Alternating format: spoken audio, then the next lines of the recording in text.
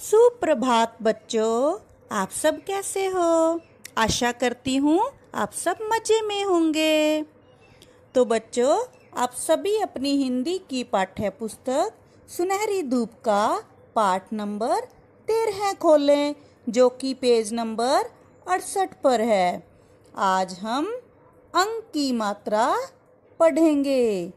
सबसे पहले इस मात्रा का उच्चारण और वर्णों के साथ इसका प्रयोग सीखेंगे।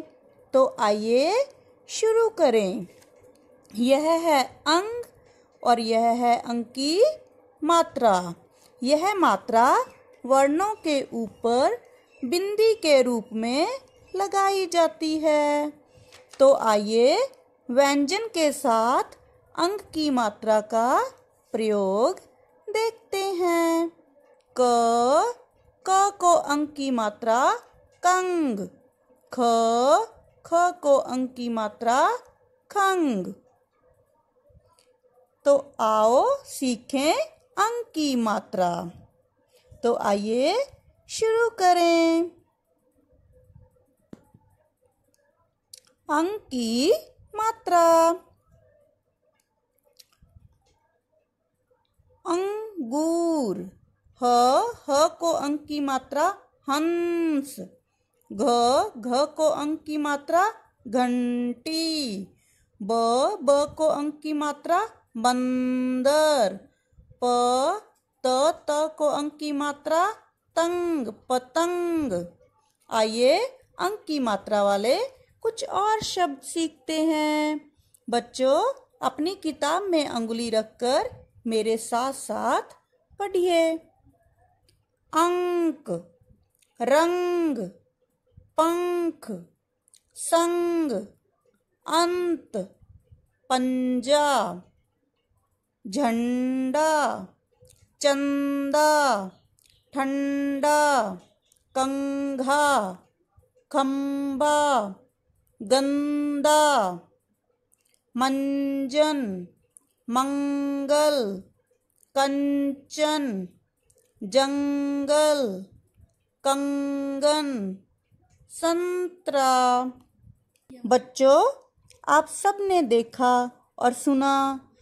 अंक की आवाज़ हमेशा नाक और मुँह से निकलती है।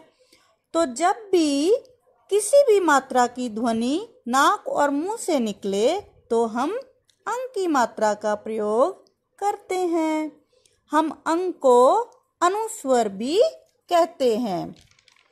तो आइए बच्चों, बोल बोल कर पढ़ते हैं।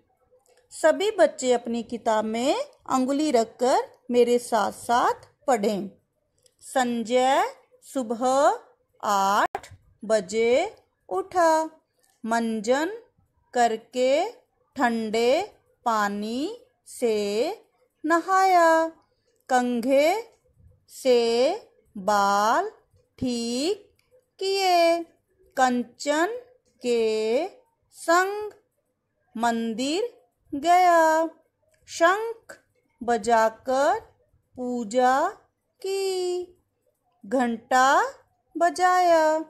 फिर वे बाहर आए।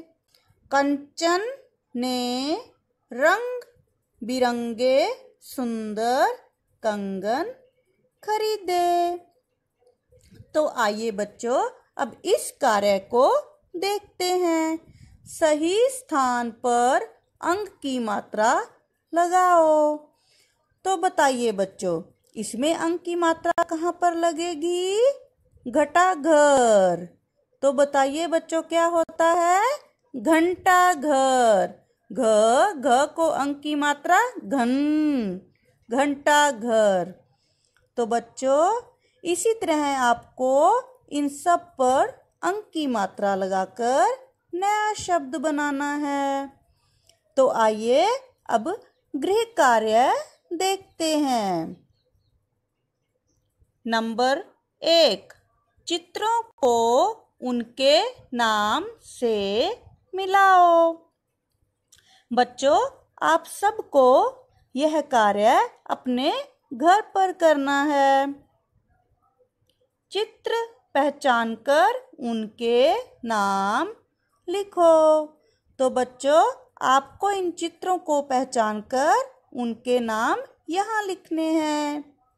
नंबर तीन, प्रश्नों के उत्तर लिखो।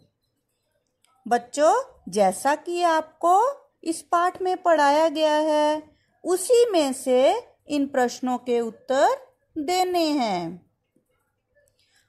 आठ बजे कौन उठा?